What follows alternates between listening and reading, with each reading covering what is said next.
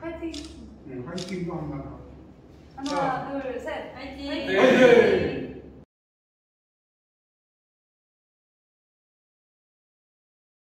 우리 정주신 이 소장님 발표를 들어가야겠습니다. 예, 부탁합니다. 예, 감사합니다. 제가 맡은 분야는 부마민주학계의 정신계승과 선양 이렇게 되어 있습니다. 아, 우리나라는 특히 독재자, 또 군부 쿠데타, 또 민간 독재자, 뭐 그런 표현을 많이 쓰면서 독재자들이 왕국했어요. 그것이 뭐 조선이 왕을 빼앗아가는 듯한 그런 예?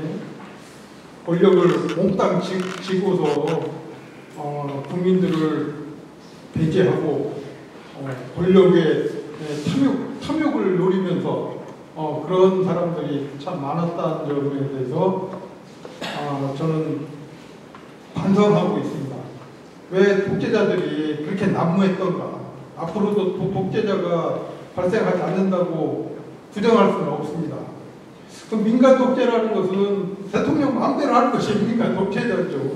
또 국민을 배제하고 국민을 알기로 우습게 하고 또 국민한테 모든 권한을 넘기 아, 아까 국가가 국민입니다 뭐 하듯이 국민한테 모든 것을 다 바쳐야 될 것을 특정 세력들이 온갖 난무하고 그 세력들이 국가를 좌지우지하고 참 이런 모습들이 아직까지도 나타나고 있는 그런 현실이 죄송스럽기도 하고 안타깝기도 하죠.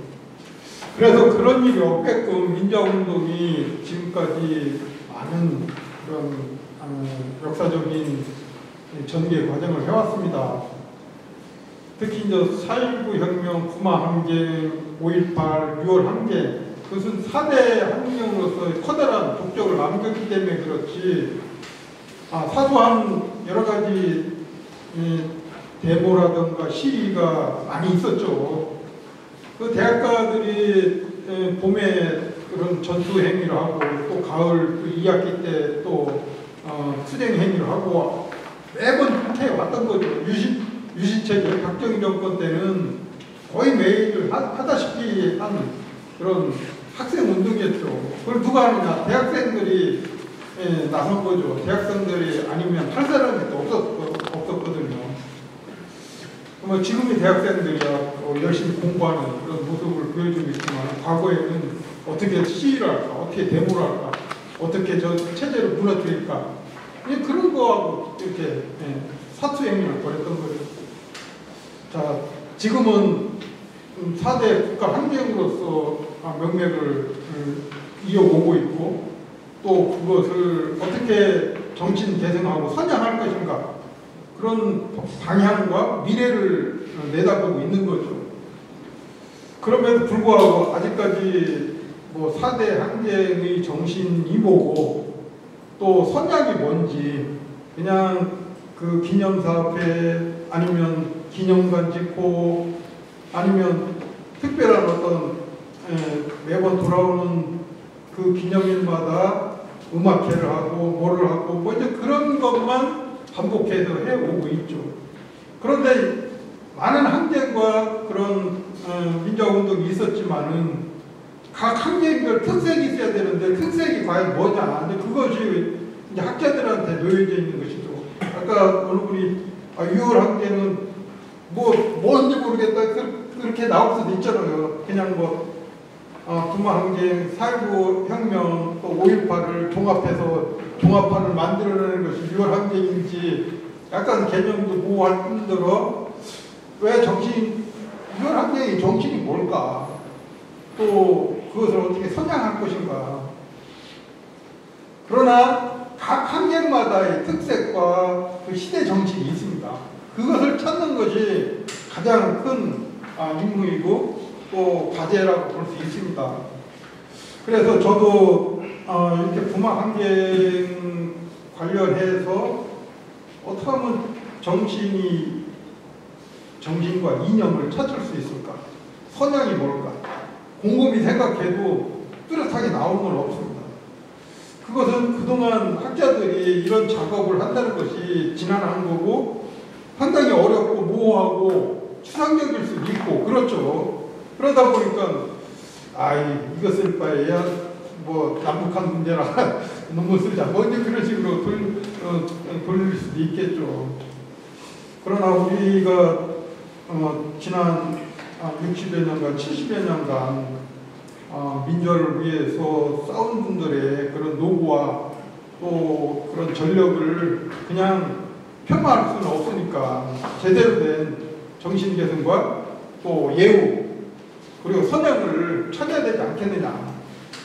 그래서 제가 이런 주제를 잡으면서 또 우리 예, 학자분들한테 어, 어렵지만은 그래도 누군가를 해야 된다라는 그런 아, 하나 일념이죠. 그래서 부탁드리고 또 고생도 하셨고 또 오늘 좀 마무리하는 차원에서 아, 정신개선과 또 어, 선양 뭐 그런 쪽에서 정리를 하고 있는 것이죠. 그래서 부마 민주 항쟁으로만 봤을 때 부마 항쟁은 뭐 다 아시다시피 아, 유신 체제, 아, 박정희 1인 체제, 18년간의 장기 집권. 그런 체제에 대해서 싸운 것이고 피를 흘리고 또 감옥에 가고 또 그런 여러 가지 예, 장애를 안고 사기를 당하고 먼저 그렇게 했던 것이죠. 그러나 그것을 돌이켜 보면은 그 당시에 왜 젊은 학생들이 젊은 소시민들이 젊은 민중들이 이 항쟁에 참여하고 동참하고 밤을 새워가면서 한 무리를 이루면서 또 간혹 가다가는 돌멩이도 던지고 파출소에 불도 지르고 여러 가지 행태를 보였던 것이죠. 그걸 누구를 위해서 했겠느냐? 결국 독재자를 타도하기 위해서겠다. 그래서 당시 부마 항쟁은 독재 차 타도 유신 철폐거든요. 독재 타도 유신 철폐. 그러고 그런 시위를 하면서 애국가도 부르고 우리의 소원은 자유라고 또 부르고 어시아시 하고 또 밤에는 불 끄라고 불 꺼야지 사진 안 찍히고 잡히질 않으니까 불 꺼. 구호가 불 꺼야 불 꺼. 그러면서 이 동네 저 동네 오고 가면서 그렇게 시위를 했던 것이죠. 그것이 벌써 44년이 흘렀다는 게, 아, 참 오래된 그런, 아, 드라마틱한 아, 얘기지만은 지금에 와서도 부마민주 항쟁은 제대로 된 모습은 없습니다. 부마 항쟁은 부산과 마산의 항쟁입니다. 부산에서 이루어졌고, 1979년 10월 16일 날 부산, 부산대에서 발생했고, 그것이 부산에서 2일 동안 16, 17일간 진행됐던 거고 그 다음에 그것이 바로 옆 동네라고 볼 수 있는 마산으로 또 전파가 된 겁니다. 그래서 마산에서도 10월 18일, 19일 날 이틀간 그래서 1979년 10월 16일에서 20일까지 뭐 사, 나흘간 나흘간 학생과 또 동참한 시민들에 의해서 어, 독재 타도라는 유신 철폐라는 그런 큰 어, 과업이죠 과업 국가적인 과업 국민의 과업을 성취하고자 쟁취하고자 아, 했던 것이죠. 근데 부산 같은 경우는 나름대로 어, 지금 뭐 민주공원도 있고 또 부산 민주항쟁 기념사업회도 있고 정리는 잘 됐습니다. 그런데 발생 어, 부마항쟁 발생일이 1979년 10월 16일인데 그거하고 관련해서 이제 몇 가지 그쪽 뭐 부산 민주공원 세력들하고 약간의 다툼만 있을 뿐이지 나름대로 정리는 잘 됐고 어 그렇게 큰 논란은 없는 걸로 봐, 보여지거든요. 그런데 마산은 틀려요. 마산은 10주년 단일 기념집에 그 일반 법원에 갔던 그 다섯 사람들을 공소장을 10주년 자료 기념 아, 기념 자료집에 넣어놨던 거예요. 거기서 또 실타래가 꿀리기 시작했던 거죠. 그 다섯 명이 누구냐? 결국 농단 세력들이죠. 내 앞에서 바로 잡힌 여학생 두 명이 시위도 하지 않은 상태고 어떻게 학교에서 따, 우리, 우리 무리에 여섯, 여섯 명만 갔는데 따, 따라온 거예요. 따라왔는데, 가지고 그냥 경찰 두 명이 나타나서 그냥, 어, 팔목을 잡고 경찰 집하고 갔거든요. 그게 무슨 시위라는 거냐? 아무 뭐 구호도 없었고. 잡혀갔을 뿐인데, 근데 지금 와서 보면 동아민주항쟁 기념사업회 이사장하고 있고, 이사하고 감사하고 있고, 그 가짜들이 그렇게 판을 치고 있어요. 저 같은 경우는 화가 납니다. 화가 나고 울고 뭐야 이게 분통하고 있고 그런데 대개의 사람들은 또 몰라요. 또 제가 거기에 대해서 폭로하고 하면 그 가짜 세력들은 저 혼자 생각이라고 나를 아주 그냥 폄하시키고 까무시고 막 짓밟고 그래요. 특히 부마민주항쟁 기념사업회 같은 경우는 그 농단 세력들, 괴뢰, 괴뢰, 괴뢰 세력이라는 게 괴뢰가 가짜입니다, 가짜. 뭐 괴뢰 정부, 북한 괴뢰 정부, 그 가짜 정부다 그런 식으로 하듯이 괴뢰 세력, 가짜 세력들이 가짜 조직, 부마민주항쟁 기념사업회. 그 부마민주항쟁 기념사업회는 원래 부산에서 에, 그 민주공원 세력들이 부마민주항쟁 부산을 그, 그 전개 과정과 또 자료를 발간하는 데 있어서 어, 명명한 그런 단체였거든요. 그런데 10주년 자료집 내고서 부마항쟁 기념사업회는 부산에서 그냥 버렸어요. 버려서. 버린 것을 마산에서 주워다가 자기들이 사용하고 있는 거지. 그건데 앞서 뭐 발표도 나왔지만은 민주운동 기념사업회가 있잖아요. 민주운동 기념사업회는 모든 항쟁과 민주운동의 그런 어, 평가 내지는 그, 그 이후에 어떻게 에, 민주운동을 보다 정신 개선하고 선양시킬 것인지를 담당하는 그런 조직체, 그것이 민주운동 기념사업회거든요. 근데 마산의 부마민주항쟁 기념사업회는 농단 세력들이 일치감치 자기들이 농단을 꾸며놓고서 10주년짜리 거기다가 엉터리를 막 다 올리고 그러면서 자기들이 기념사업회를 한다는 거예요. 기념사업회. 지금까지 40여 년간 그런 게 있는 거예요. 이건 뭔가 예, 거꾸로 되고 그래서 우리 그, 어, 그 이장님 교수께서 좋은 말을 해놨는데 제가 아까 언더라인을 쳐놨는데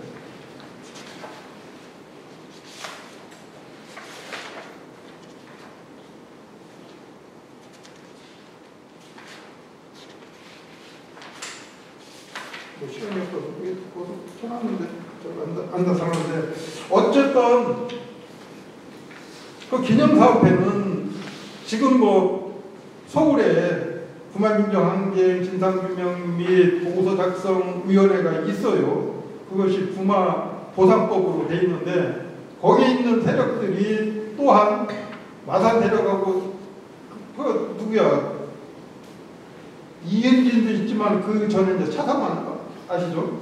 차상환이도 또 마산 출신이라고 하더라고요. 그래서 마산하고 그 뭐야 상임위원하고 같이 한동석에 한동석. 그래서 이런 문제에 대해서 에, 뭐 가령 예를 들어서 최갑순 옥정에 두 사람에 대해서 현장조사 대면조사 하면 안 해요 안 해. 그 사람이 하기 싫다고 안 한다는 거예요. 그것을 계속해서 내용 중이랑 보내고 뭐 해도 아주 안할 작정으로 음, 배제시키고 있는 거죠. 그래서 안 되겠다. 아마 이제 제가 그 한국과 세계가 지금 저기 이제 곧뭐 11월 정도에 등재지 되면 어, 국회 주변에 오피스를 하나 얻어갖고서 어, 그쪽에 사무실 하나 내고 그래 국회를 다 출입해갖고서 또 국회의원을 만나고 해서 그런 그 무리들을 어떻게 척결할 것인가 그 더군다나 다 국회 법을 통과해서 그 보상이든 뭐든 다 하고 있거든요. 그럼에도 불구하고 매번 매번 반복되는 거예요. 진상규명은 아예 안 해. 그냥 보상 문제만 하는 게 보상 문제. 또 나 같은 경우는 그 사람들하고 아주 그냥 그 왼수가 돼버린 거죠. 하자 안 하고.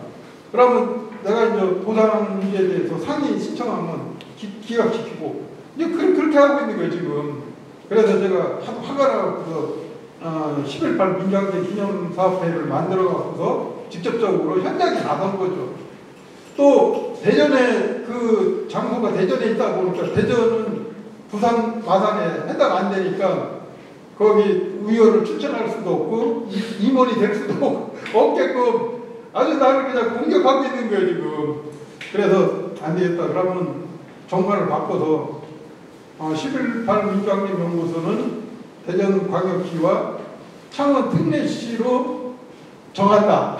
그걸 바꿨어요. 바꿔서 어, 창원에도 조그마한 오피스를 하나 얻어갖고 거기다 또 어, 간판을 달고 그래 한번 싸워보자. 왜냐하면은 제가 가면 걔네들하고 이제 싸워야 되니까 아예 그냥 대지하고 차단하고 막 이렇게 키고 그러는 거예요. 그래. 뭐 아직도 정신은 멀쩡하니까 걔네들하고 싸워도 그렇게 에, 지지는 않습니다. 어쨌든 그런 쪽을 할 예정이고 아, 결론적으로 제가 이 자료를 뭐 이렇게 선급했지만 가장 중요시할 것은 뭐 앞서 4.19든 구마든 또 6월 항쟁이든 또 5.18이든 각기 특색이 있는 그런 정신운동이 뭐고 또 선양할 것이 뭐고 또 예우할 것은 또 뭔지 그런 거 찾는 것이 좀 필요할 것 같아요. 근데 맨 마지막에 제가 저 열고 해놓은 것이 참조될 만한 것이 또 있긴 하더라고요. 그것이 다름 아니라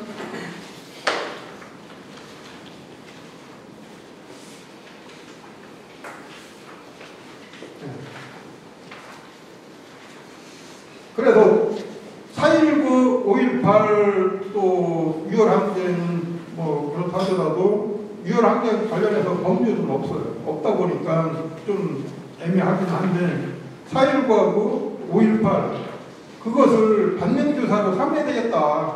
반면교사로 삼는다는 것은 그쪽의 특색을 똑같이 그냥 베끼는 게 아니라 아 그쪽에서는 이런 정신 개선과 선양이 있지만은 그러나 북한 항쟁 관련해서 정신 개선과 선양은 어느 방식으로 가야 되겠다.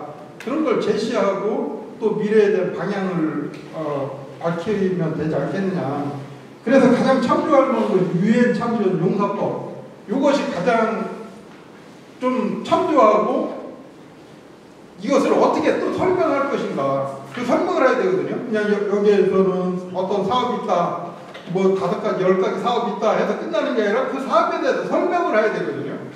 그러면 그, 그 항쟁에 대한 이해와 또 뭐 전개 과정, 또 정신은 뭐고 이제 그런 것을 어, 빼서 그래도 몇 줄이라도 가령 예를 들어서 유엔 참전 용사 선양 명예 법률 시행령을 보면은 뭐 기념관 전시관